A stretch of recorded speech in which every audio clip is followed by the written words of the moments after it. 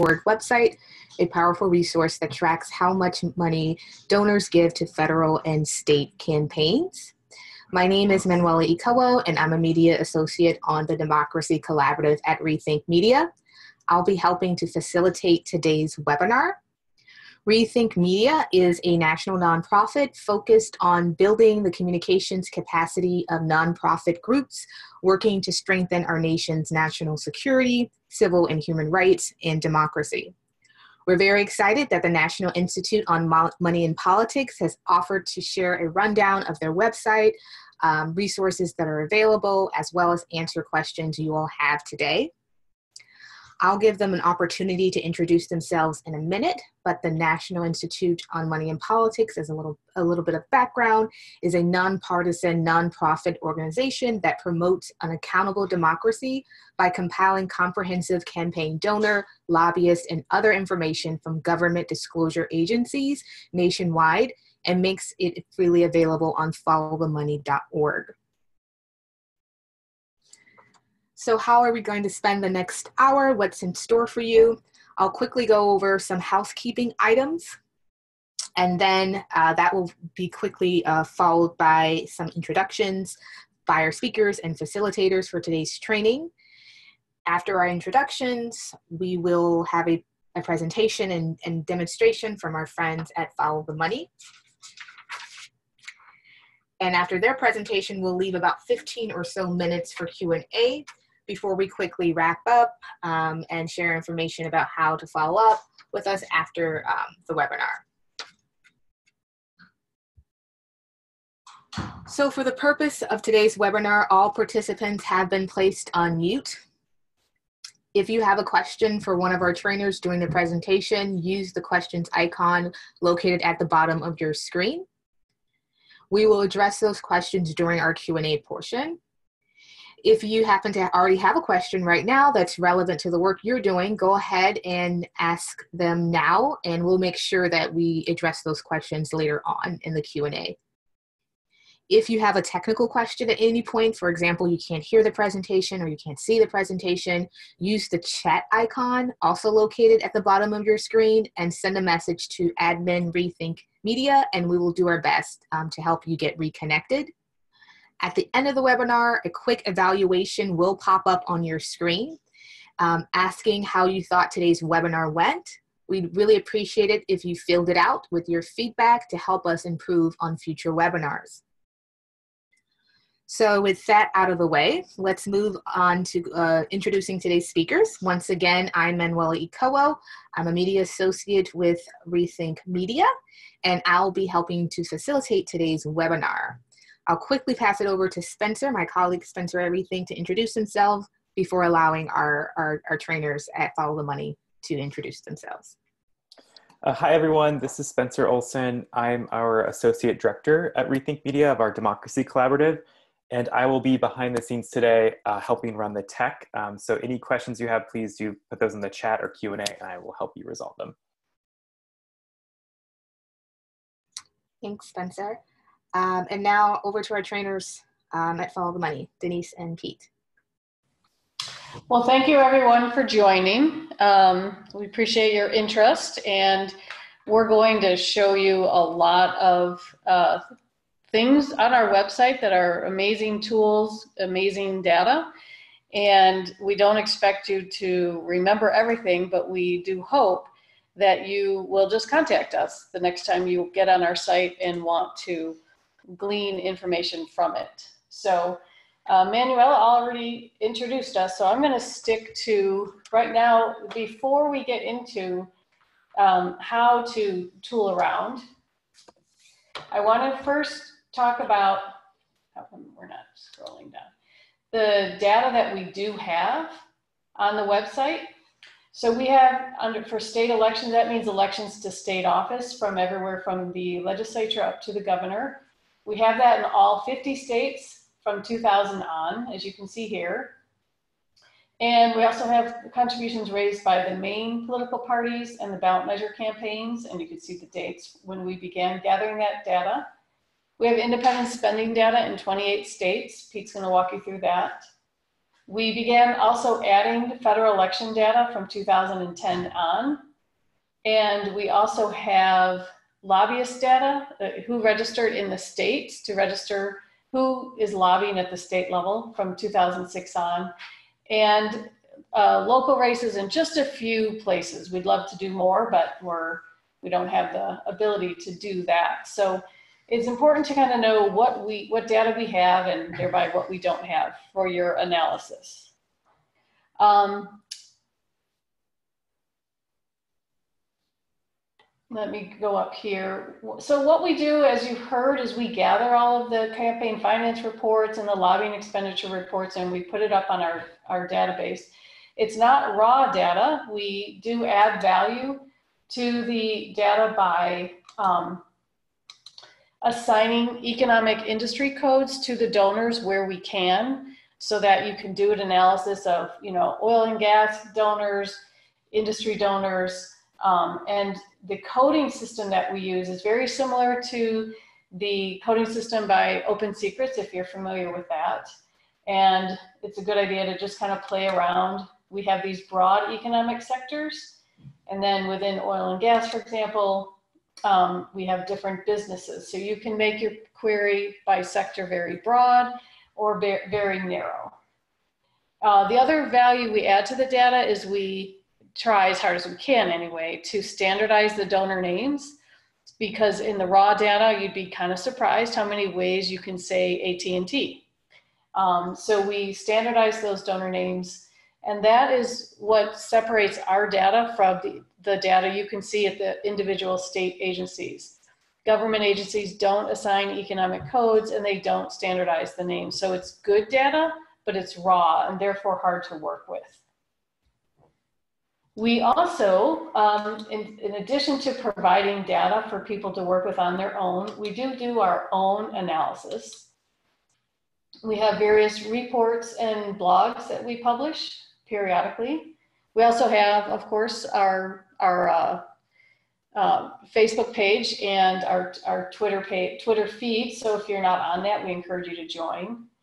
And one more thing before I pass it on to Pete to really dig in. If you haven't done so already, please register to create a My Follow the Money account. And as advocates and journalists and academics, we do actually provide expanded access to the data by downloads. So, um, but you first have to create an account and then let us know you want expanded access. So I'm going to now hand it over to Pete Quist, our research director. Hello, everybody. I'm about to show you how to dive into some of the data on our website. Um, before I really get going here, uh, many of you will be tempted to um, tool around on our website while we're doing this presentation to see what you can see. Um, I want to open by saying that our website is very dynamic and is generating results to, for queries as you run them. Um, if we get a lot of people doing that all at once, it can slow it down. So um, we're going to try to do some of this live. So if you can refrain from tooling around on the website until after this presentation, that will help us out. From our homepage at followthemoney.org, um, the first thing that I'm going to highlight here is our brand new State at a Glance tool. Uh, we are known very much for providing huge volumes of, of, data that can be searched in multiple different ways, which we're going to get into in a minute. But this is one of our uh, first efforts with this website to create package data. So you can see just real quickly uh, what a state looks like. For this example, we're going to go and look at Illinois. And so if I click on Illinois here, this takes a few seconds to load, so I've brought it up already. Then we can see our Illinois state at a glance page. And I'm going to go over a few of the items that are here. Um, this is really exciting for us. I'm, I'm, really pumped to be talking about this. Um, right away, you see that we're looking at elections in 2017 and 2018, and there's some information about trends in the state. Uh, here we see that the um, campaigns involve very high dollars per vote, so they're very expensive campaigns, and they're not monetarily competitive. And this is dynamic to the to the state that we've selected. And by not monetarily competitive, what we mean here is that if you're running uh, for a single seat office, such as uh, a governor office or a, a, state house office, for example, in, in Illinois, uh, that the candidate raising the most money is raising more than twice as much as the next candidate. And we just, we determine that to be non-competitive.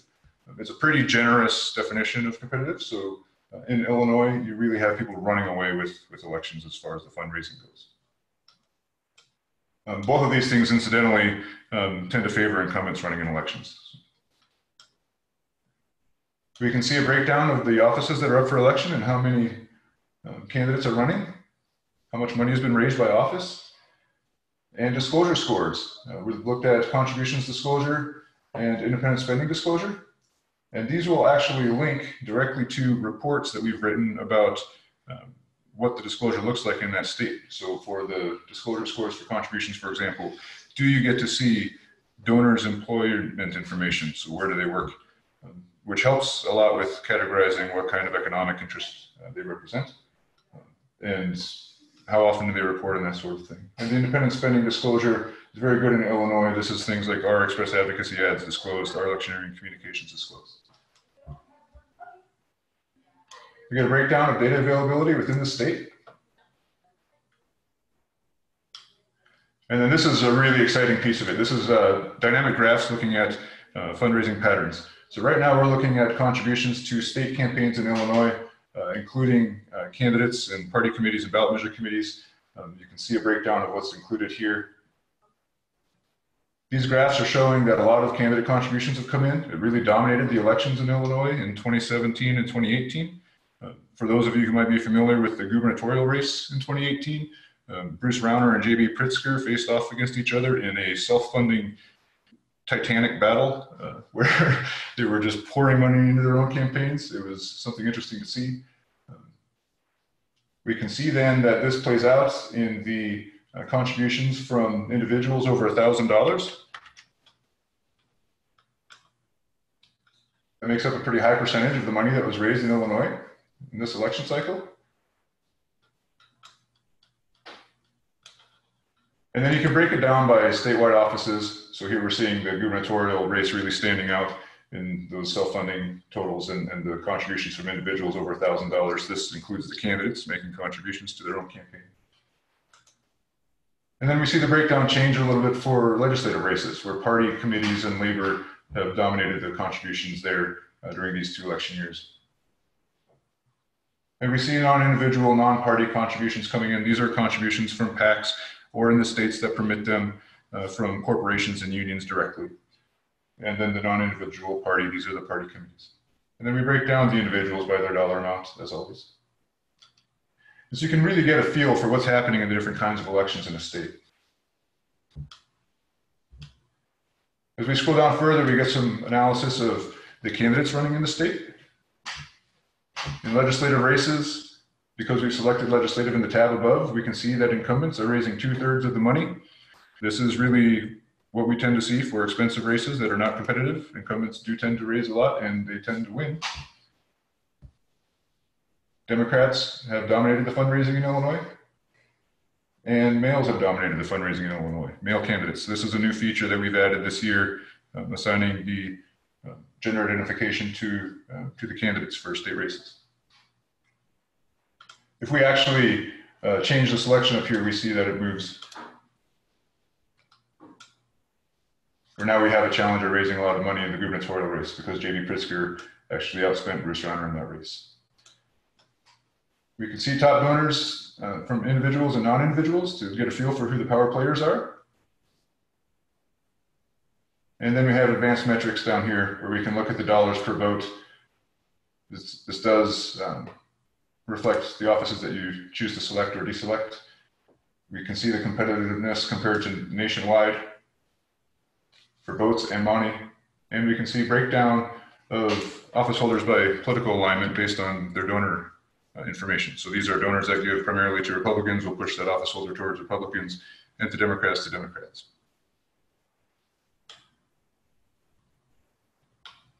Next thing I want to show you is our entity page. Denise talked briefly about the idea that uh, we standardize uh, donor names. And when we do that, we assign an ID number to that donor. And then we aggregate all the information that we have about that person or group so that you can see it all in one place. I'm going to run a search here for Anna Caballero.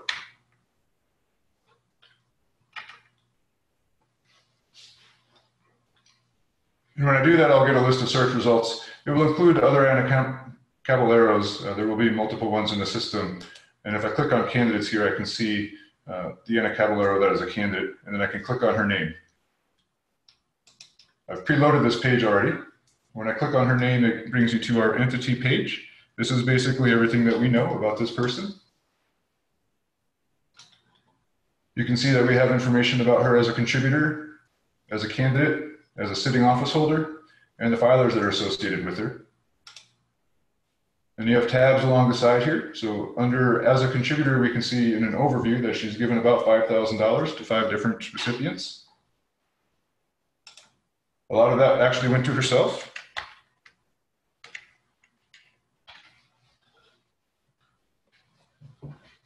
You can take a look at the money that she's given to party committees and ballot measure committees and so forth. Um, you can take a look at the overall trends of her contributions. So the political party affiliation of the recipient, um, whether the candidates have won or lost. 3,500 of this was to herself and she's a winner, so that's why that's so large. And the incumbency status. We also allow you to look at donors who have a similar donation profile. Now she hasn't given to a lot of different people. Um, so this is going to show some people that are extremely high with very small data points. But I just want to highlight that this exists. Sometimes with large donors, you can see some pretty interesting um, trends. Similarly, as a candidate, we can see similar candidates. And so Tim Grayson has a donor profile that looks, uh, or a profile of donors that looks very similar uh, to Anna Caballero's. And if you click a side-by-side, -side, you can actually get a side-by-side -side comparison of of what that looks like. And what this basically means is that many of the donors are shared. So donors making contributions to both of these individuals and in similar amounts. So if you know you have a friend in the legislature, for example, on a, on a policy that you're working on, and that they have some donors that might be able to uh, speak to, to your policy um, and, and get access to those legislators, you can look for other legislators perhaps that have uh, similar donors. And so you can try to build out that network. In all, this candidate has raised $9 million in various elections. We also show information about Anna Caballero as an office holder, including which offices she's held each year, and her legislative committee assignments.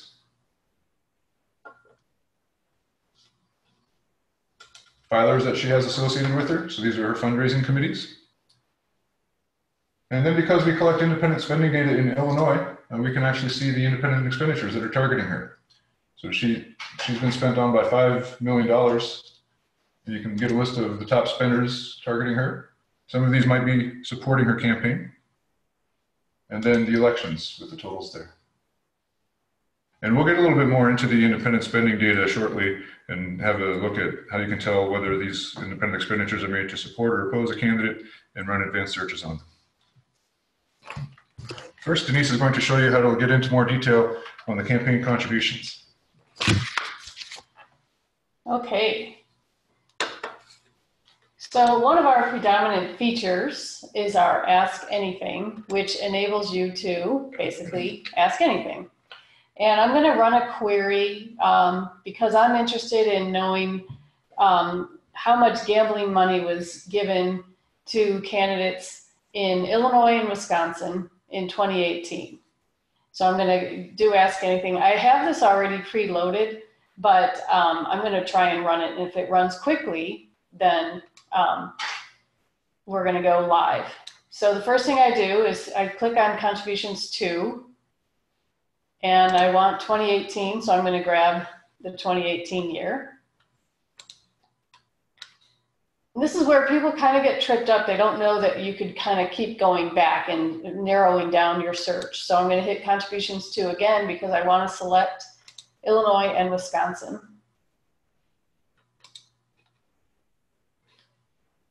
Illinois here and then Wisconsin below. And um, the other place that people get stuck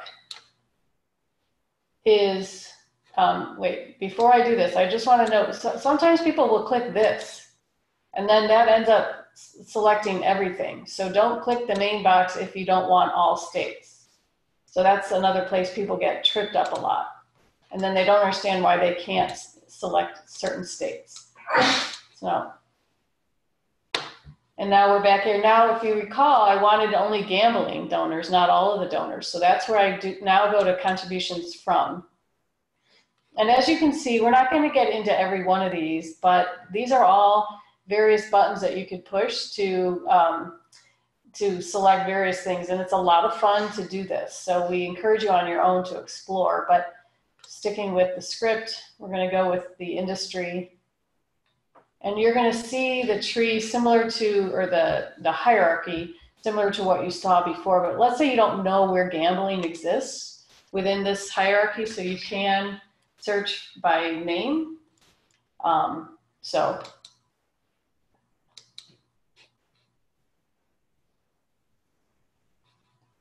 and I'm gonna hit go. Oh, sorry. I'm gonna hit go. Never mind. Uh, now I'm gonna hit go.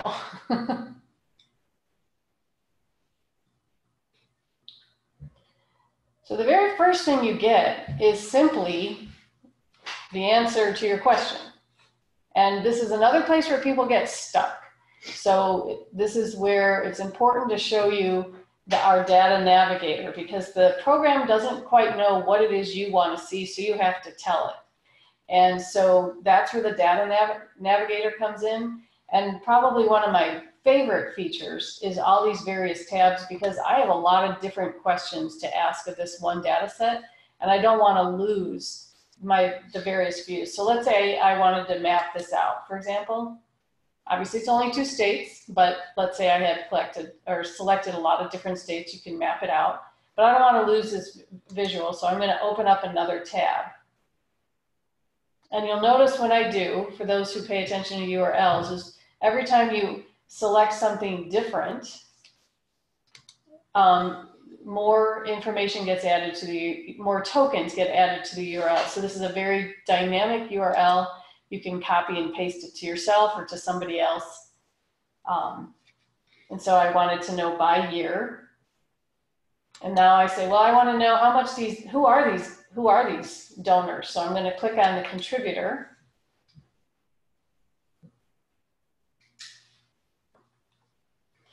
And these are, it always sorts by total down, but you could sort by any heading throughout. And if you wanted to know about the 173 records that totaled these 230,000. Like if you wanted to know, I really want to know who Arlington Park Racecourse gave to, like they're the only ones I'm interested in. Don't click on their entity name because then you're going to get everything we have. You could actually click on this magnifying glass and you'll note it opens up a new window. So if you hit, if you try and go back, you can't go back because you're in a new window. So instead, you just go back to your original query. So that's the value of the magnifying glass. So now you see the contributor. Um, and now you have another question, which is, you know, who did these uh, donors give to by incumbency, for example? When you get this box, it means you're only going to see the money given to candidates, not to the party and ballot measure committees. So if you've got this 1.5 million number locked in your head, you'll, and then you run the query, you're going to see this doesn't total, my query doesn't total 1.5, and that's because you only selected for candidates. And then let's, you obviously can select more than one box at a time. So if you could wanted to see, for example, incumbency. So the ones, this program sorts, as I mentioned, by highest dollar down. So as you can see, and to no one's surprise, the incumbent winners receive the most money. So as you can see, again, if you've logged in, which I didn't do, um, but if you've logged in, you could actually save your query here. You could give it a certain name, um, or you could, sometimes it's just easier to copy and paste it and send it to yourself.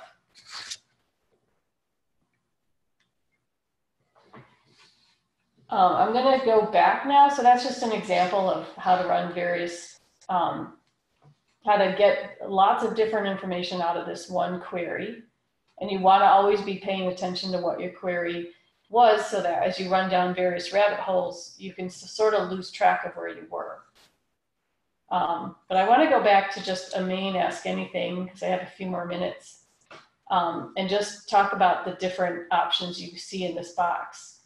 Um, if I actually want to look at independent spending data, which I won't do because Pete's going to uh, tour you, give you a tour of that in a little bit, but you could select here for independent or lobbying data, but it defaults to contributions data. This here is if you're uh, only wanting to look at federal races, you would deselect state and local or vice versa if you only wanted state and local or just one or the other. But that's how you can narrow down the jurisdiction of the data you're looking for. The contributions from, you could actually do it by location. So city, state, or zip. And we're not going to go into it entirely, but um, I just want to show you your various options that you could do so on your own.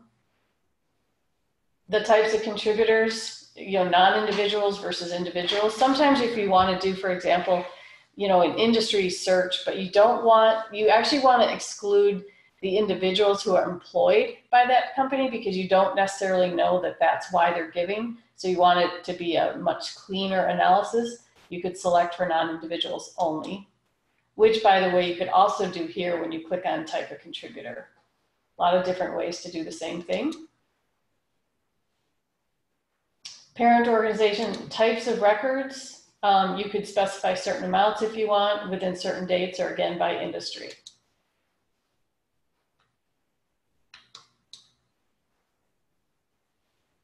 The type of contributor here again, um, if you are really wanting to do an analysis of who these donors are, you'll see that the majority of the donors gave uh, were non-individuals. So they were actually the companies or the PACs um, one thing I didn't show, which I'm going to do now, is if you want to see if they gave to ballot measure committees, again, you get that box saying, if you see this, you're only going to see ballot measures. So you say, okay. They didn't give any to ballot measures. Maybe there weren't any, whatever. And then if you want to see what they gave to, to the party committees, you can show that.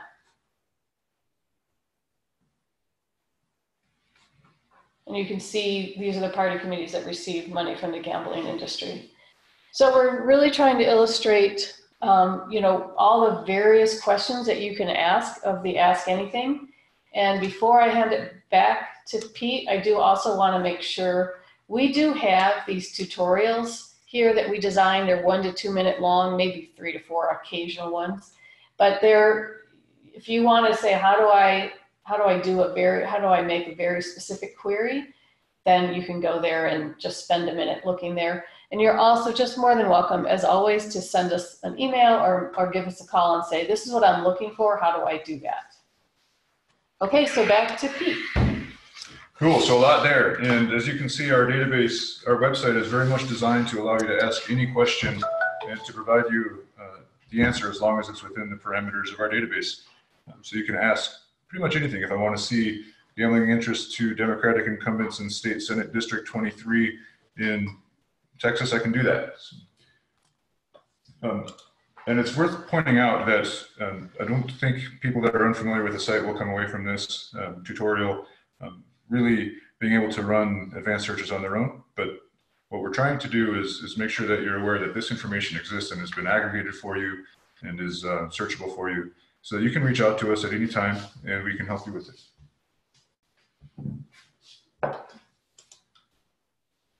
As Denise pointed out on the Ask Anything search, we can change the criteria from contributions data to independent spending data.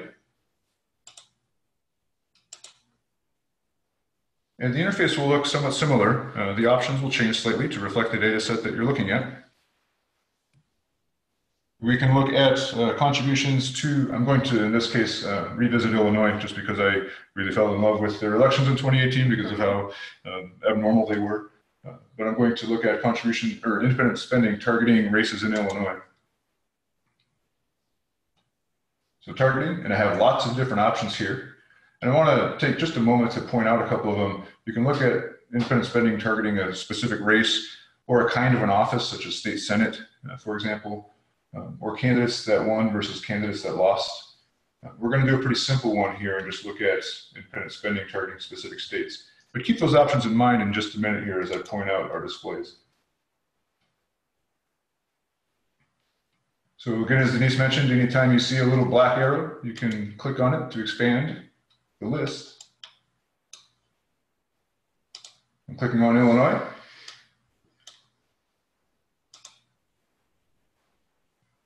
And just as with the previous interface with contributions, we're building a sentence in the middle here. Show me independent spending in Illinois. And actually, I'm going to uh, just leave that the way it is and look across years. I'm just clicking on go. We do categorize independent spenders by their economic interest where we can. Uh, I'm not going to spend a lot of time highlighting that in this case. Uh, it's the same classifications as we have for contributors, but independent spenders tend to be pretty hard to identify, so we end up with a lot of unidentified ones. Uh, but we can take a look at how much independent spending total happens in Illinois. And we can see $63 million here in the years that we have. Which years are they? With these boxes here, we can actually select by filing year. This is the year in which the independent expenditures were made. And we can see that these are the total amounts for each of these years. Uh, I pointed out a couple of possible criteria on the search, and I want to illustrate the relationship between the search and the display. Uh, each of these boxes that you see on the display options, and this was true of the contribution search too, uh, are also things that you can select on your search. So when I was talking about uh, the idea that you can look at spending targeting a specific race, uh, we can do that by clicking on political race. This box is aggregating data by the field that we could have also filtered by.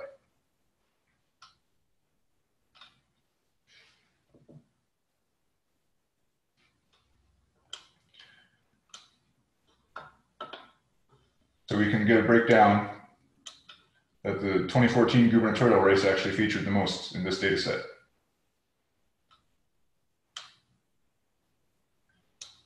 We can also display by candidate and by position, and this would show us a row of data that says J.B. Pritzker was targeted by $14 million in spending supporting his campaign or opposing his campaign and so forth. So these are all really fun to play with. Uh, you can also do the industry and sector of the, the spender. Um, these reflect the same three-tier classification system that Denise talked about with campaign contributions. Um, but again, these are a little bit harder to identify. Independent expenditures are where we talk about the dark money issue, and that's how that sort of plays out in our database, uh, in that it becomes pretty difficult for us sometimes to see uh, exactly who those spenders represent.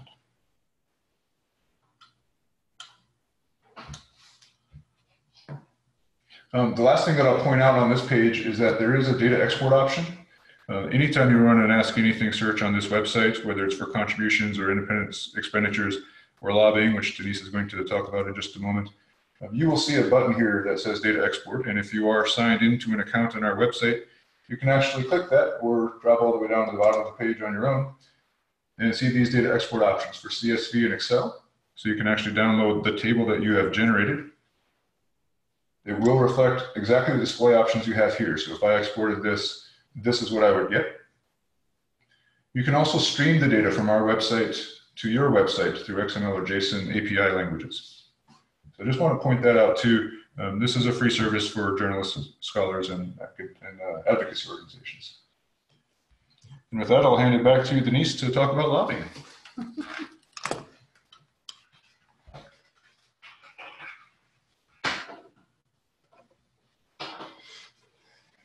So another way to get to a specific data set, and this one I use frequently because I can't remember the states for which we've collected independent spending data for or lobbying because we don't have it in all 50 states for each one because of the poor disclosure in those states. So one way, rather than the, um, if you're wanting to know whether or not we have lobbying expenditures or independent spending in a specific state, you could just click on here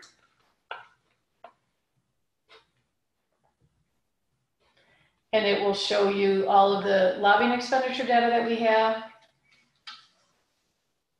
And you'll see quickly that we have it for 20 states.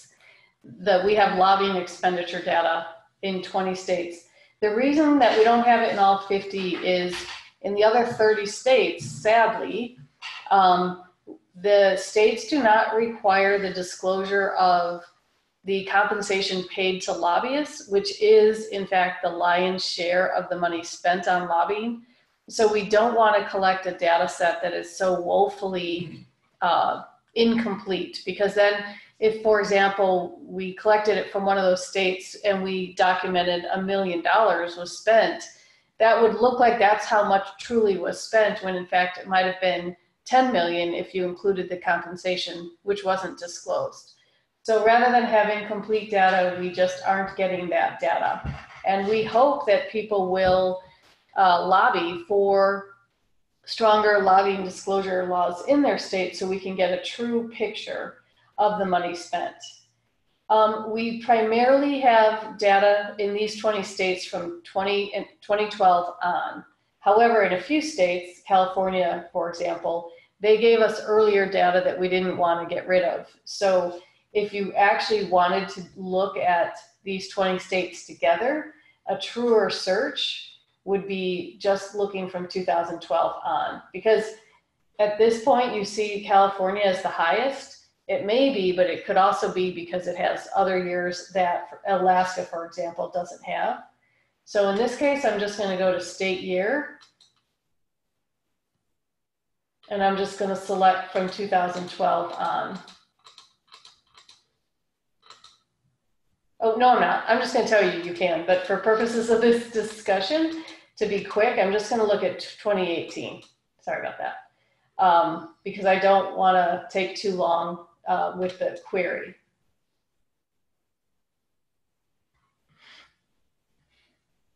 And what you may have noticed earlier is just the phenomenal amount of money. If, if you were impressed already, hopefully you were with the amount of money spent or given in direct contributions to candidates it pales in comparison to the money spent lobbying. And look at that, that's 1.6 billion in 2018 alone, and that's only 20 states.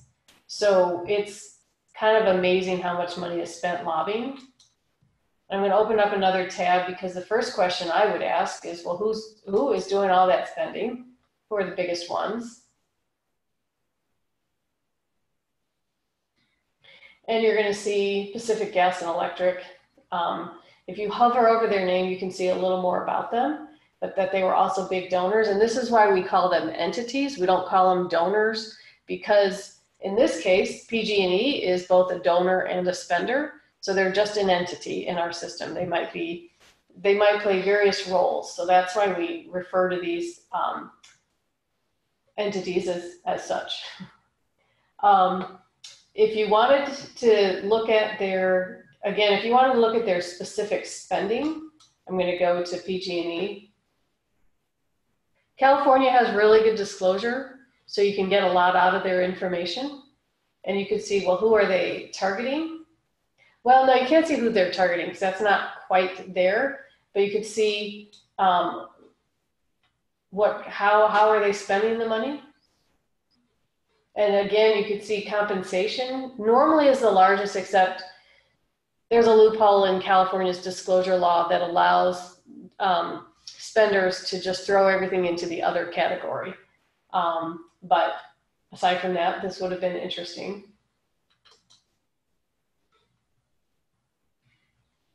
Uh, if we've coded it, we try hard to code the spending data, but we know that it's, um, well, we know PG&E is energy and natural resources. Oh, I'm on PG&E, that's why that was there, sorry. So I'm gonna go back to, no, I'm not. Oh, I can go back this way, sorry.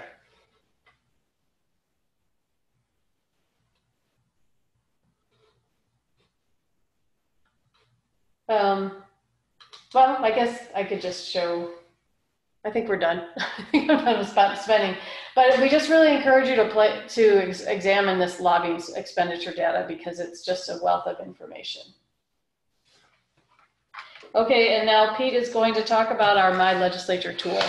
Right, so we've, we've spent uh, quite a bit of time here going over the data that we collect.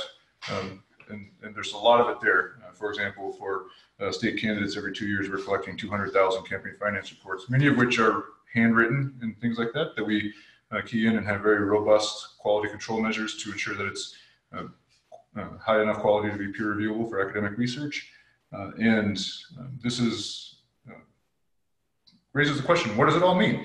And so we're trying to answer that question in a couple of ways here. From our homepage, uh, under the tools section, you can actually scroll down to a tool that is called the My Legislature tool. And this is right at followthemoney.org. If you just scroll down past the map, you'll get to the tools. And here's my legislature. And I'm just going to pick on Alabama because it's first in the list. And so, oops, go ahead and submit.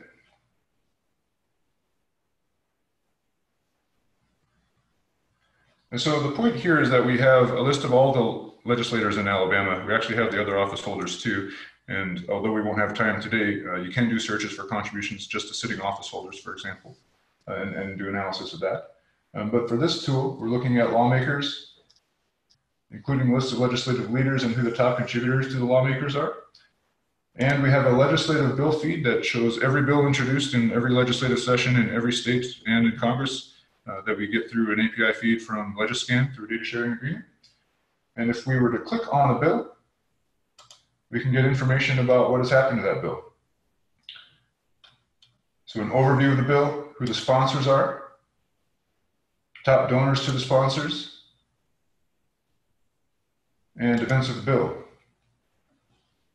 And the, the key thing here is that uh, we can see uh, which committees the bill was referred to. So here we see it was sent to the Senate Committee on Transportation and Energy. So we can go to this committees tab, scroll down past these House committees,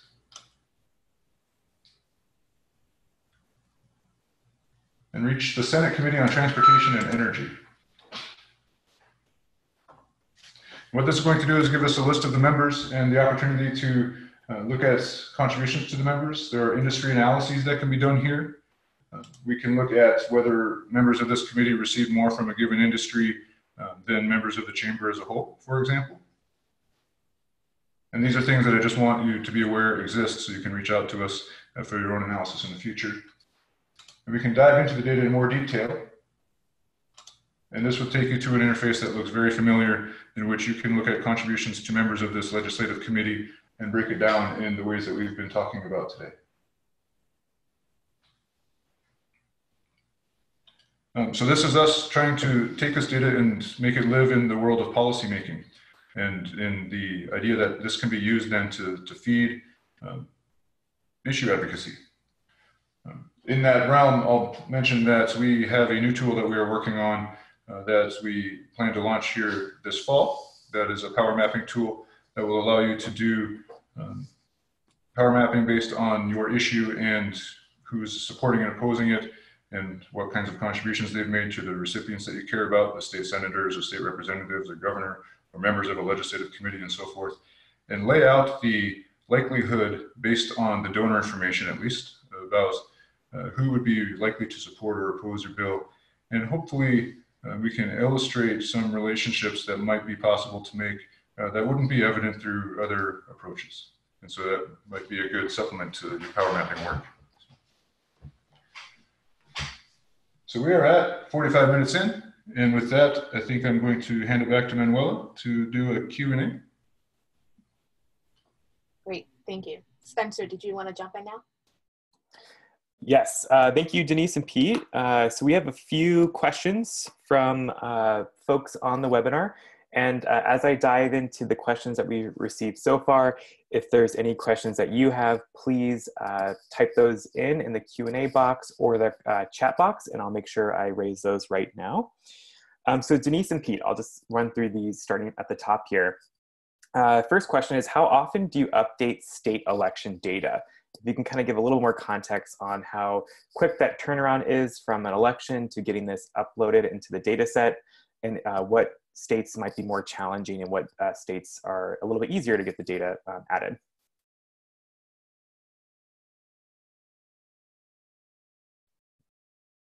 Yes, absolutely. So collecting state data is a complex task. Um, our, our federal data is usually up now within a couple of days of the quarterly reports being filed. Um, our state data takes a little bit longer where every state is a puzzle between what might be available through an electronic download and what isn't and what might be handwritten on PDFs that we have to then key into our system and then ensure the accuracy is, is very high. Uh, and in a couple of states, we even get reports shipped to us in the US mail. Uh, and so these things can cause delays in getting this data up, but we make a list of every campaign finance report that every candidate, party committee, and ballot measure committee could conceivably have to file during the course of an election. And as those report deadlines pass, uh, we review them to see if they are available and then collect them as quickly as we can uh, based on those formats uh, and our, our, limited staff size. so ideally, uh, what we have is campaign finance reports from a state uh, where good electronic data is available and complete uh, coming up onto our website within a couple of days. Um, but in some cases, it can take much longer if we're waiting on reports to be mailed to us and then having to send them out for input. So the short answer really is that we're um, uploading data every day. Um, the, the answer for any given report can be pretty complex. And I'll, I'll add too that there, you know, if, if you follow federal campaigns, then you become accustomed to being able to know at any given moment exactly where the data collection is because all of the file, filers have to play by the same rules. Um, they have the same uh, deadlines, etc. And so it's very easy to assess what's going on at the federal level at any given moment. It's very impossible to do the same in all 50 states at any one time due to the various disclosure deadlines, reports, and um, as Pete just mentioned, all of the various um, things that affect how quickly we can get the reports from the state. So you just can't expect um, getting all of that information, you know, on the spot. There's no such thing, absolutely no such thing as real-time disclosure at the state level. Great. So I have one other question so far around uh, the data sets. Is there a way to know uh, when the database was last updated. And I think this is a question that was raised when you were going through some of the examples. Is there like a timestamp somewhere that's visualized or any way that can mark the, the date for folks? Yeah, so uh, what we're going to do here is take a look at this uh, query that we've run from the gambling and casino uh, piece. So if we look at uh, this query, uh, which is one that we just ran live on the website, there's a bar here that shows how complete we are with the data for that specific query. And this reflects the query that you make on the website. It tells you how far along we are and if we have any campaign finance reports yet to collect. This 9434 represents all of the reports that we think these candidates or recipients could conceivably have had to file over the course of the elections that are in your query. And so if we uh, look at that, then we know that we're 100% complete here or 90% complete or so forth. Uh, if we look at the record level data, which is this website's language for transaction level data, then one of the fields in it will be last updated. And what this means is that the record, uh, th this will be the timestamp for the last time we made a significant change to a record. Usually that means that the record was added that day. Uh, in some cases, it may mean that we've standardized and categorized the contributor that day. Um, but this is our closest uh, thing to a record level timestamp uh, publicly on the site.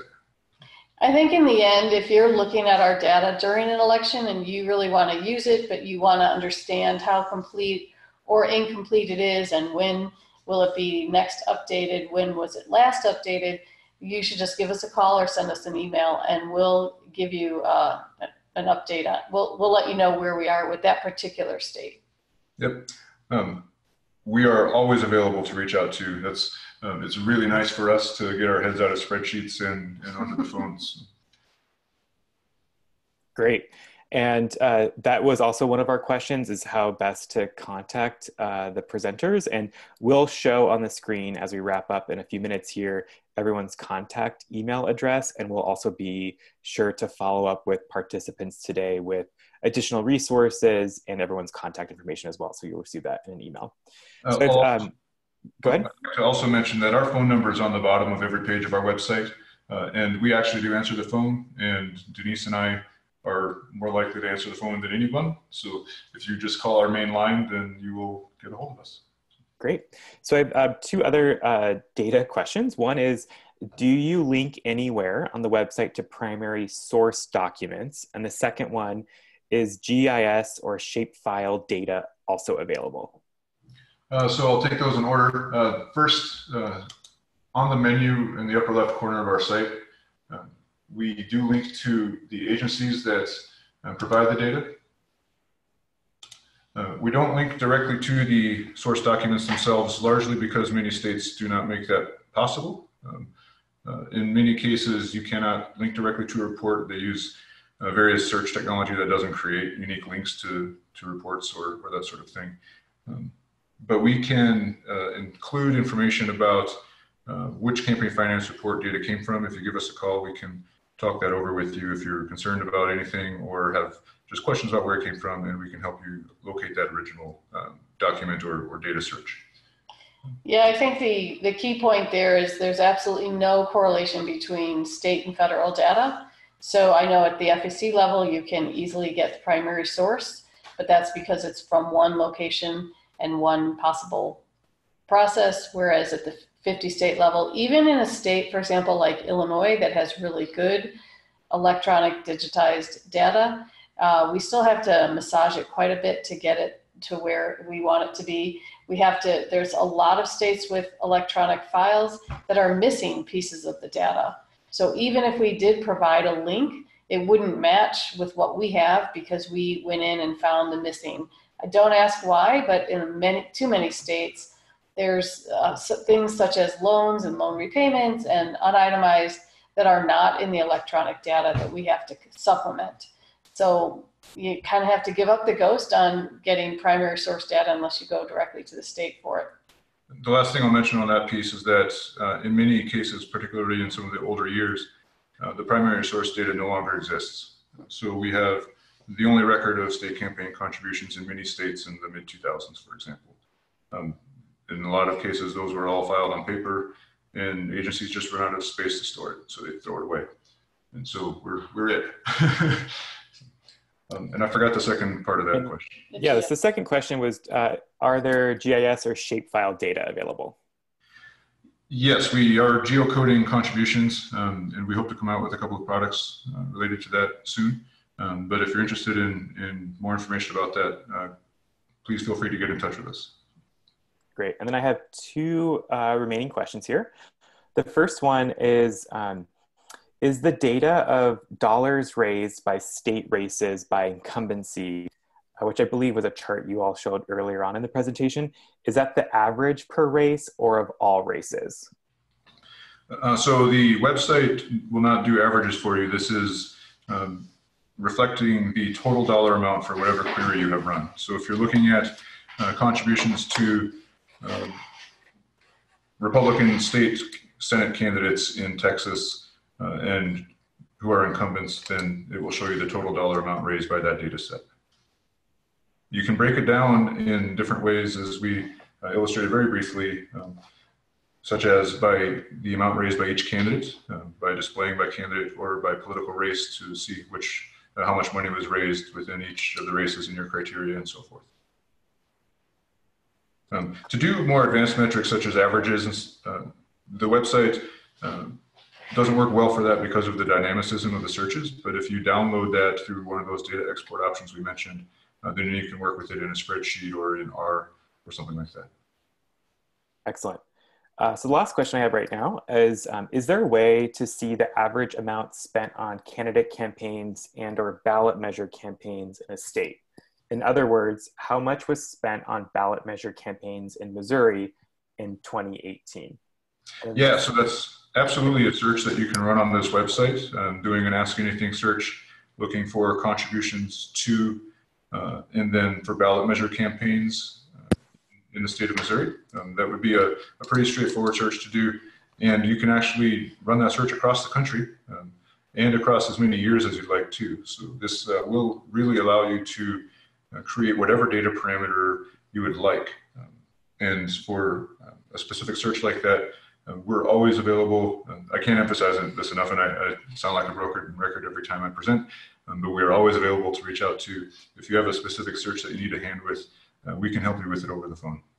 And as you can see on the screen here, I have Illinois pulled up, but because Illinois doesn't do ballot measures, um, or at least they didn't in 2018, I don't think they do in general, but if they did, the ballot measures would be here. So you would be able to then click on the ballot measure committees and determine how much, you know, the, the you, with just a little bit of math, you could figure out how much they was raised by ballot measures as a percentage of the money raised overall. And the other thing we forgot to um, show you earlier is this is 2017 and 2018 elections combined, but if you want to see the years split out, you just would click on one of these two. Um, okay, and then a quick follow-up to that question is, do you also track contributions to opposing specific ballot me measure campaigns in states? Oh, yeah. Right, so any uh, committee that forms to support or oppose a ballot measure, um, we will collect the contributions to that committee. Um, and uh, we also, uh, I'll mention, uh, categorize ballot measures by subject.